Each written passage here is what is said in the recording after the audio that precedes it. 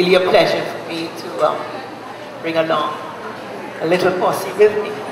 And uh, I discovered this little girl, because everybody knows I did the preliminaries for music festival. And when this beautiful little girl came in, I just fell in love with her right away. And I said, you know, I have a feeling you're going to win this thing. But anyway, you've got to go through the ropes. And so said, so done. She went along to the finals, then she won the championship. I'm so proud of her. And um, she's, she's great. I love her. Uh, beautiful voice. Um, she's going to come along now and do a, number for us. Everybody knows the musical Annie, and she's going to sing that lovely song tomorrow.